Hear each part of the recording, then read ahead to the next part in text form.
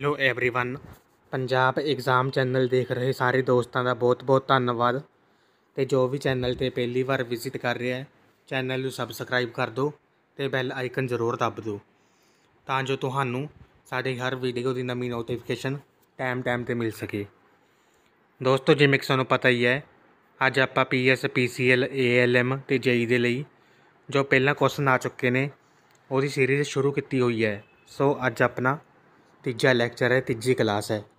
So video ਨੂੰ ਪੂਰੀ ਜ਼ਰੂਰ ਦੇਖਿਓ, ਕਿਉਂਕਿ ਮੈਂ ਵੀਡੀਓ ਦੇ ਵਿੱਚ ਐਂਡ ਤੇ ਕੁਝ ਇਹੋ ਜਿਹੀ ਟਿਪਸ ਦਊਂਗਾ ਵੀ ਆਪਣਾ ਸਵਾਲ ਸਕਿੰਟ ਦੇ ਵਿੱਚ ਦੇਖਣ ਸਾਰ ਹੀ ਸੋਲਵ ਹੋ ਜੇ। ਸੋ ਵੀਡੀਓ ਨੂੰ ਮਿਸ ਨਾ ਕਰਿਓ। ਤੇ ਇਹਦੀ ਜੋ ਪੀਡੀਐਫ ਹੈ, ਮੈਂ ਟੈਲੀਗ੍ਰਾਮ ਤੇ ਪਾ ਦਾਂਗਾ, ਤੁਸੀਂ ਉੱਥੋਂ ਲੈ ਸਕਦੇ ਹੋ। ਅੱਜ ਆਪਣਾ 34ਵਾਂ ਕੁਐਸਚਨ ਹੈਗਾ। ਦਿੱਤੇ ਗਏ ਸਰਕਟ ਵਿੱਚ ਜੇਕਰ ਤਿੰਨ ਓਮ ਦਾ ਰਜਿਸਟਰ ਬਿੰਦੂ A ਅਤੇ B ਦੇ ਵਿਚਕਾਰੋਂ ਹਟਾ ਦਿੱਤਾ ਜਾਵੇ, ਤਾਂ ਵੋਲਟੇਜ ਪਤਾ ਕਰੋ VAB ਚ ਕਿੰਨੀ ਹੋਏਗੀ। ਉਰੇ ਮੰਨ ਲਓ ਬਿੰਦੂ A ਹੈ, ਇਹ ਵਾਲਾ, ਜਿਹੜਾ ਇਹ ਹੈ, ਇਹ ਬਿੰਦੂ ਹੈ ਕਿ B ਇਹਦੇ ਵਿਚਾਲੋਂ ਕਹਿੰਦਾ ਵੋਲਟੇਜ ਰਿਮੂਵ ਕਰ ਦਿਓ ਰਜਿਸਟਰ ਰਜਿਸਟਰ ਰਿਮੂਵ ਕਰ ਦਿਓ 3 ਓਮ ਦਾ। ਇਹਨੂੰ ਆਪਾਂ ਕੱਟਤਾ। ਤੇ ਆਪਣਾ ਸਰਕਟ ਕਿਵੇਂ ਬਣ ਗਿਆ? ਇਹ ਬਣ ਗਿਆ। ਐਵੇਂ ਦਾ ਸਰਕਟ ਬਣ ਗਿਆ। ਇੱਥੇ 100 ਵੋਲਟੇਜ ਹੈਗੀ ਆਪਣੀ 100 ਵੋਲਟ। ਇਹ ਹੈਗਾ A, B ਤਾਂ ਜਦੋਂ ਵੀ ਐਵੇਂ ਦਾ ਸਰਕਟ ਬਣ ਜੇ, ਆਪਾਂ ਨੂੰ ਪਤਾ ਹੈ ਵੀ ਇਹ ਓਪਨ ਸਰਕਟ ਬਣ ਗਿਆ। ਤੇ ਓਪਨ ਦੇ ਵਿੱਚ ਜਿੰਨੀ ਆਪਾਂ ਵੋਲਟੇਜ ਅਪਲਾਈ ਕਰਦੇ ਹਾਂ ਉਨੀ ਹੀ ਰਹਿੰਦੀ ਹੈ। ਸੋ ਆਪਣਾ ਆਨਸਰ ਕੀ ਆ ਜਾਏਗਾ? 100 ਵੋਲਟ, ਇਹ ਸਹੀ ਆਨਸਰ ਬਣ ਜਾਏਗਾ। ਅੱਗੇ ਦੇਖਦੇ ਹਾਂ। ਕਿਸੇ ਵੀ ਕੰਡਕਟਰ ਵਿੱਚ ਜੇਕਰ ਉਸ ਦਾ ਖੇਤਰਫਲ ਵਧਾ ਦਿੱਤਾ ਜਾਵੇ, ਤਾਂ ਉਹਦੀ ਰੈਜ਼ਿਸਟੈਂਸ ਕੀ ਹੋਏਗੀ? ਵਧੇਗੀ ਘਟੇਗੀ, ਉਹੀ ਰਹੇਗੀ ਜਾਂ ਚਾਰ ਗੁਣਾ ਹੋ ਜਾਏਗੀ। ਤਾਂ ਜੀ ਰੈਜ਼ਿਸਟੈਂਸ ਦਾ ਫਾਰਮੂਲਾ ਜਿਵੇਂ ਕਿ ਆਪਾਂ ਨੂੰ ਪਤਾ ਹੈਗਾ, R ਬਰਾਬਰ ਰੋ L ਵਟੇ A ਹੁੰਦਾ ਹੈ। ਹੁਣ ਜਿਹੜੀ L ਹੈ, ਇਹ ਡਾਇਰੈਕਟਲੀ ਪ੍ਰੋਪੋਰਸ਼ਨਲ ਹੈ। ਮਤਲਬ ਜਿੰਨੀ ਰੈਜ਼ਿਸਟੈਂਸ ਵਧੇਗੀ ਉਨੀ ਲੈਂਥ ਵੀ ਵਧੇਗੀ। ਜਾਂ ਜਿੰਨੀ ਲੈਂਥ ਵਧੇਗੀ ਰੈਜ਼ਿਸਟੈਂਸ ਵਧੇਗੀ। ਤੇ ਏਰੀਆ ਆਫ ਕ੍ਰੋਸ ਸੈਕਸ਼ਨ ਦੇ ਇਨਵਰਸ ਹੁੰਦਾ ਹੈਗਾ। ਜਿੰਨਾ ਏਰੀਆ ਵਧੇਗਾ ਉਨੀ ਰੈਜ਼ਿਸਟੈਂਸ ਘਟੇਗੀ ਸੋ ਆਪਣਾ ਆਨਸਰ ਕੀ ਆ ਜਾਏਗਾ ਆਪਸ਼ਨ ਬੀ ਅੱਗੇ ਦੇਖਦੇ ਹਾਂ ਕਿਸੇ ਸਰਕਟ ਵਿੱਚ ਚਾਰ ਰੈਜ਼ਿਸਟੈਂਸਾਂ ਸਮਾਂਤਰ ਪੈਰਲਲ ਵਿੱਚ ਜੋੜੀਆਂ ਗਈਆਂ ਨੇ ਸਭ ਤੋਂ ਘੱਟ ਉਰੇ ਕਰੰਟ ਆਣਾ ਸੀ ਕਰੰਟ ਕਿਸ ਵਿੱਚ ਹੋਵੇਗਾ ਤਾਂ ਜਿਵੇਂ ਆਪਾਂ ਨੂੰ ਪਤਾ ਹੈਗਾ ਬਿਜਲੀ ਦੀ ਰੈਜ਼ਿਸਟੈਂਸ ਵੱਧਦੀ ਹੈ ਉਸ ਦੇ ਵਿੱਚ ਕਰੰਟ ਉਨਾ ਘੱਟਦਾ ਹੁੰਦਾ ਹੈਗਾ। ਤੇ ਇਹਦੇ ਵਿੱਚ ਦੇ ਆਪਾਂ ਨੂੰ ਸੋਲਵ ਕਰਨ ਦੀ ਲੋੜ ਨਹੀਂ ਹੈਗੀ। ਰੈਜ਼ਿਸਟੈਂਸ ਕਿਸ 'ਚ ਵੱਧ ਹੈ? 20 ਓਮ 'ਚ ਸਭ ਤੋਂ ਵੱਧ ਹੈ। ਤਾਂ ਇਸ ਦੇ ਵਿੱਚ ਹੀ ਕਰੰਟ ਸਭ ਤੋਂ ਘੱਟ ਹੋਏਗਾ। ਸੋ ਆਪਣਾ ਆਨਸਰ ਆ ਗਿਆ ਆਪਸ਼ਨ ਬੀ 20 ਓਮ ਅੱਗੇ ਦੇਖਦੇ ਹਾਂ। ਇੱਕ ਵੋਲਟੇਜ ਰੇਟਿੰਗ ਵਾਲੇ 400 ਵਾਟ ਅਤੇ 100 ਵਾਟ ਦੀ ਪਾਵਰ ਵਾਲੇ ਦੋ ਬੱਲਬਾਂ ਦੇ R1 ਅਤੇ R2 ਵਿਚਕਾਰ ਕੀ ਸੰਬੰਧ ਹੈ? ਤਾਂ ਜੀ ਇਹਦਾ ਫਾਰਮੂਲਾ ਹੁੰਦਾ ਹੈ, ਤਾਂ ਇਹਦਾ ਜੋ ਫਾਰਮੂਲਾ ਹੈਗਾ, ਉਹ ਸਿਰਫ ਤਾਂ ਹੀ ਕੰਮ ਕਰੇਗਾ ਜੇ ਵੋਲਟੇਜ ਰੇਟਿੰਗ ਸੇਮ ਹੋਵੇ। ਇਹ ਯਾਦ ਰੱਖਣਾ ਤੁਸੀਂ। ਇਹਦਾ ਫਾਰਮੂਲਾ ਕਿੰਦਾ ਹੈ? P1 ਬਟੇ P2 ਬਰਾਬਰ R2 ਬਟੇ R1 ਇਹ ਫਾਰਮੂਲਾ ਹੁੰਦਾ ਹੈ। ਹੁਣ P1 ਕਿੰਨੀ ਹੈ ਆਪਣੇ ਕੋਲ? 400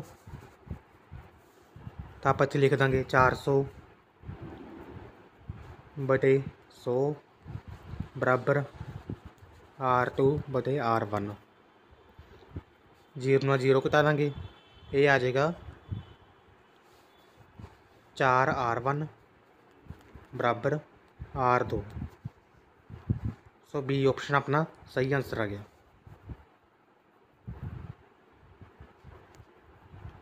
ਅੱਗੇ ਦੇਖੋ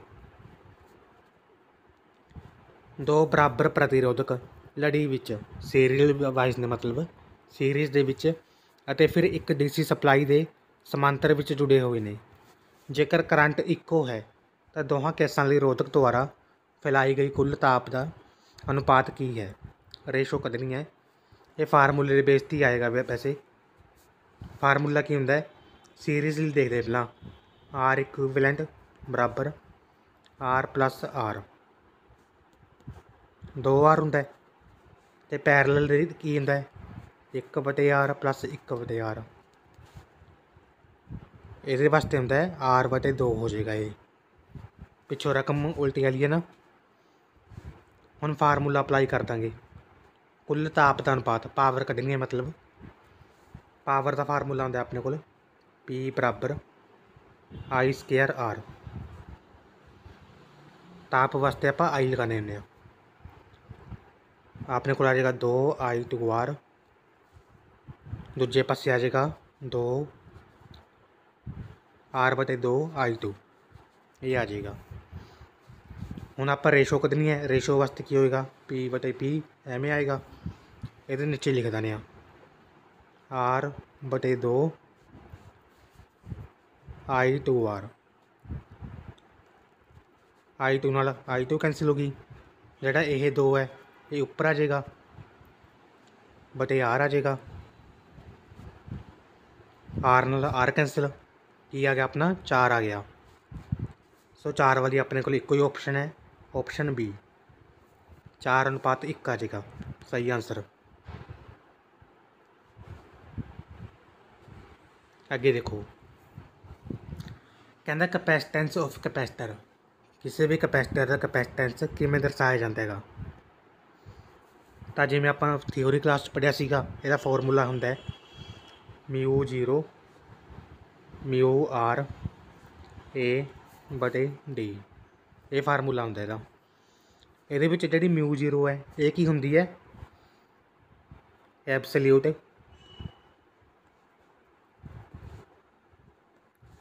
ਪਰਮਿਟਿਵਿਟੀ ਜਾਂ ਪਰਮੀਏਬਿਲਟੀ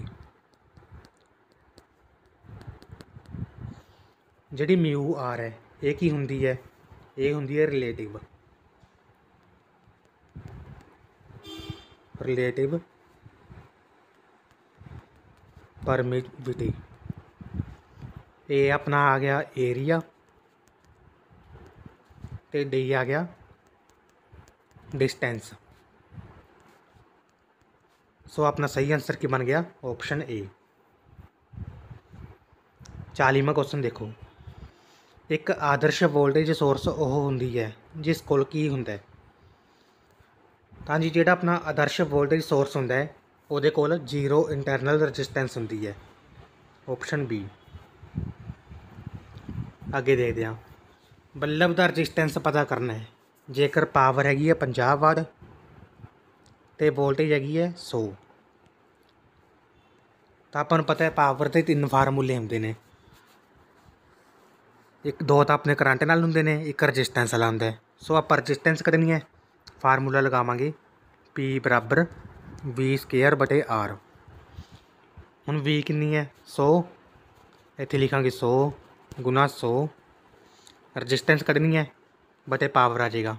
ਬਟੇ 50 ਇਹਨੂੰ ਕਟਾਵਾਂਗੇ ਆਪਾਂ। 200 ਓਮ ਆ ਗਿਆ। ਆਪਸ਼ਨ ਸੀ ਅੱਗੇ ਦੇਖੋ।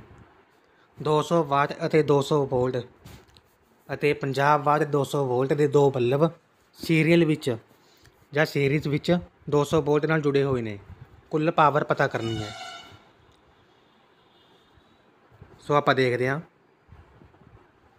ਕੁੱਲ ਪਾਵਰ ਕੱਢਣੀ ਹੈ। ਉਹਦੇ ਆਪਾਂ ਨੂੰ ਰੈਜ਼ਿਸਟੈਂਸ ਪਤਾ ਹੋਣਾ ਜ਼ਰੂਰੀ ਹੈ। ਹੁਣ ਤੇ ਰੈਜ਼ਿਸਟੈਂਸ ਕੱਢਾਂਗੇ। 200 ਗੁਣਾ 200 ਪਹਿਲੇ ਦੀ ਪਾਵਰ ਕਿੰਨੀ ਹੈ? 200 ਇਹ ਕੱਟ ਗਿਆ 200 ਆ ਗਿਆ। P1 ਹੁਣ ਆਪਾਂ ਕਰਾਂਗੇ P2 ਨੂੰ ਸੋਲਵ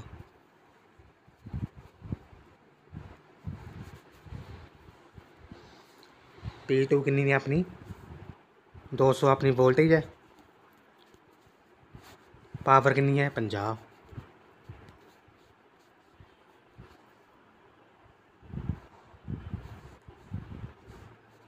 ਇਹ ਆ ਗਈ 800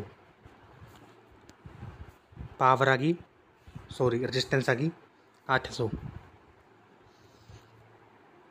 ਹੁਣ P1 ਦੇਖੋ ਆਪਣੇ ਕੋਲ ਹੈਗੀ ਹੈ 200 P2 ਹੈਗੀ ਹੈ 800 R1 ਸੌਰੀ ਹੁਣ ਫਾਰਮੂਲਾ ਲਗਾਵਾਂਗੇ P ਬਰਾਬਰ V ਸਕੁਅਰ ਬਟੇ R ਵੋਲਟੇਜ ਹੈਗੀ 200 ਉੱਪਰ ਆ ਜਾਏਗਾ 40000 ਭਾਗ ਰਜਿਸਟੈਂਸ ਦੋਨਾਂ ਦਾ ਮਿਲਾ ਕੇ ਕਿੰਨਾ ਹੋ ਜਾਏਗਾ 1000 ਤਿੰਨ ਜ਼ੀਰੋ ਤਿੰਨ ਜ਼ੀਰੋ ਕੱਟ ਦੋ ਰਹਿ ਗਿਆ ਕਿੰਨਾ 40 ਆਪਸ਼ਨ ਸੀ ਆਪਣਾ ਸਹੀ ਆਨਸਰ ਆ ਗਿਆ ਅੱਗੇ ਦੇਖੋ 2 ਵੋਲਟ ਦੀ ਇੱਕ ਓਪਨ ਸਰਕਟ ਵੋਲਟੇਜ ਵਾਲੀ ਇੱਕ ਬੈਟਰੀ ਵਿੱਚ ਇੱਕ ਟਰਮੀਨਲ ਵੋਲਟੇਜ 1 ਵੋਲਟ ਹੈ ਵਰਤਮਾਨ ਕਰੰਟ 5 ਐਂਪੀਅਰ ਹੈ ਅੰਦਰੂਨੀ ਵਿਰੋਧ ਲੱਭੋ ਇਹ battery having an open circuit voltage of 2 volt open circuit voltage ਕਿੰਨੀ ਹੈ 2 ਟਰਮੀਨਲ ਵੋਲਟੇਜ ਕਿੰਨੀ ਹੈ 1 ਐਂਪੀਅਰ ਕਰੰਟ ਹੈਗਾ ਆਪਣੇ ਕੋਲ 5 ਰੈਜ਼ਿਸਟੈਂਸ ਕੱਢਣੀ ਹੈ V ਬਰਾਬਰ IR ਫਾਰਮੂਲਾ ਲੱਗੇਗਾ ਵੋਲਟੇਜ ਕਿੰਨੀ ਹੈ ਆਪਣੇ ਕੋਲ 2 ਤੇ 1 ਨੇ ਜਦੋਂ ਮਾਈਨਸ ਕਰਾਂਗੇ ਆਪਾਂ 1 ਰਹਿ ਜੇਗੀ ਇਧਰ ਹੈਗਾ 1 ਕਰੰਟ ਹੈਗਾ 5 ਬਰਾਬਰ R ਇਹਨੂੰ ਜੋ ਘਟਾਵਾਂਗੇ ਆਪਾਂ 0.2 ਆ ਜਾਏਗਾ ਆਪਸ਼ਨ ਬੀ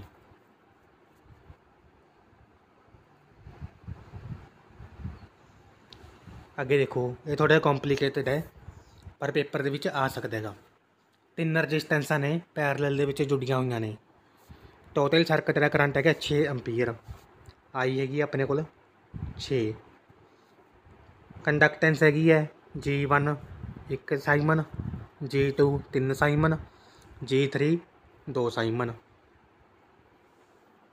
ਆਪਾਂ ਨੇ ਕੀ ਲੱਭਣਾ ਹੈ? ਕਰੰਟ ਲੱਭਣਾ ਹੈਗਾ G3 ਦੇ ਵਿੱਚ 2 ਸਾਈਮਨ ਦੇ ਵਿੱਚ।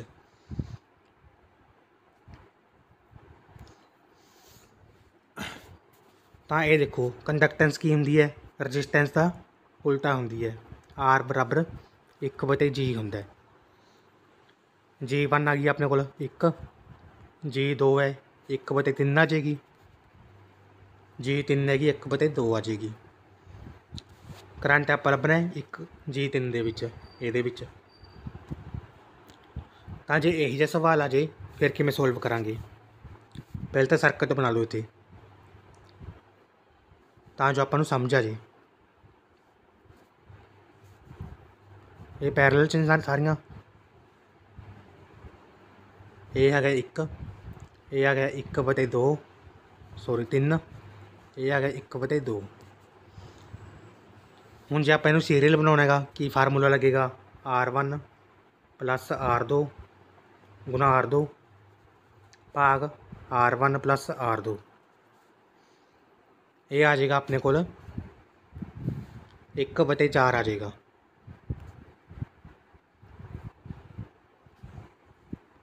ਇੱਕ ਗੁਣਾ 1 ਬਟੇ 3 ਬਟੇ 1 ਪਲੱਸ 1 ਬਟੇ 3 ਉੱਪਰ ਆ ਜਾਏਗਾ ਆਪਣੇ ਕੋਲ 1 ਬਟੇ 3 ਨੀਚੇ ਆ ਜਾਏਗਾ 4 ਬਟੇ 3 ਇੱਧਰ ਆ ਜਾਏਗਾ ਫਿਰ 3 ਬਟੇ 4 1 ਬਟੇ 4 ਆ ਗਿਆ ਆਪਣੇ ਕੋਲ ਹੁਣ ਅੱਗੇ ਕਿਵੇਂ ਸੋਲਵ ਕਰਨਾ ਹੈ ਇਸ 'ਚ ਕਰੰਟ ਡਿਵੀਜ਼ਨ ਦਾ ਰੂਲ ਲੱਗੇਗਾ ਇਹ ਰੂਲ ਕਿਵੇਂ ਹੁੰਦਾ ਹੈ ਆਈ ਟੀ ਬਰਾਬਰ ਆਰ ਟੀ ਬਟੇ ਆਰ 3 ਪਲੱਸ ਆਰ ਟੀ ਗੁਣਾ ਹੁੰਦਾ ਹੈ ਆਈ ਟੀ ਦਾ ਆਰ ਟੀ ਕਿੰਨੀ ਆਈ ਸੀ ਆਪਣੇ ਕੋਲ 1 ਬਟੇ 4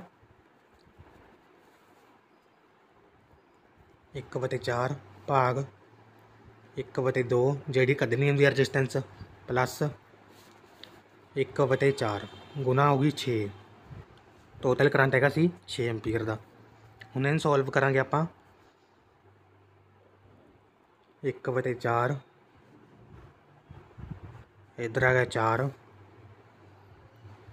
2 ਪਲੱਸ 1 3 ਬਟੇ 4 ਗੁਣਾ 4 ਬਟੇ 3 ਗੁਣਾ 6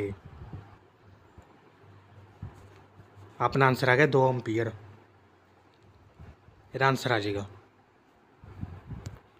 ਸੋ ਇਹ ਫਾਰਮੂਲਾ ਯਾਦ ਰੱਖਿਓ ਇਸ 'ਚ ਕਰੰਟ ਡਿਵੀਜ਼ਨ ਰੂਲ ਦਾ ਟੋਟਲ ਰੈਜ਼ਿਸਟੈਂਸ ਬਟੇ ਆਰ ਐਕਸ ਜਿਹੜੀ ਆਪਾਂ ਫਾਈਂਡ ਕਰਨੀ ਹੈ ਪਲੱਸ ਟੋਟਲ ਰੈਜ਼ਿਸਟੈਂਸ ਗੁਣਾ ਆ ਜਾਏਗਾ ਟੋਟਲ ਕਰੰਟ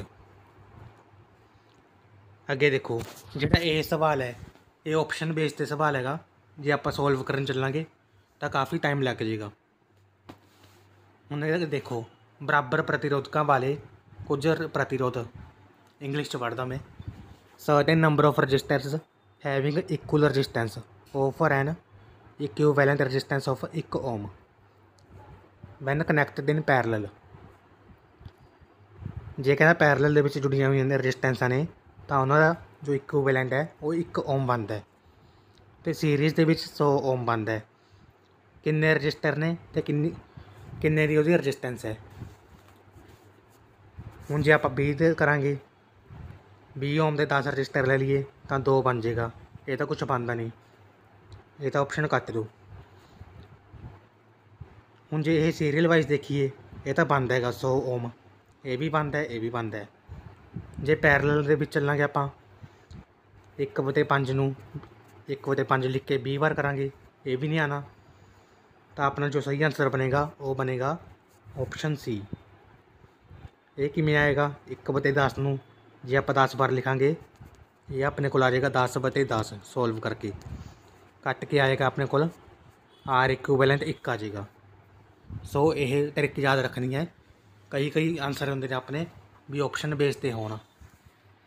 ਸੋ ਇਹ ਸੀ ਆਪਣੀ ਅੱਜ ਦੀ ਕਲਾਸ ਤੇ ਮਿਲਦੇ ਆਪਾਂ ਕੱਲ ਨੂੰ ਅੱਗੇ 46ਵੇਂ ਕੁਐਸਚਨ ਤੋਂ ਲੈ ਕੇ। ਤੇ ਜੇ ਵੀਡੀਓ ਵਧੀਆ ਲੱਗੇ, ਅੱਗੇ ਸ਼ੇਅਰ ਜ਼ਰੂਰ ਕਰ ਦਿਓ। ਇਹ ਦੇਖਣ ਲਈ ਸਭ ਦਾ ਬਹੁਤ ਬਹੁਤ ਧੰਨਵਾਦ।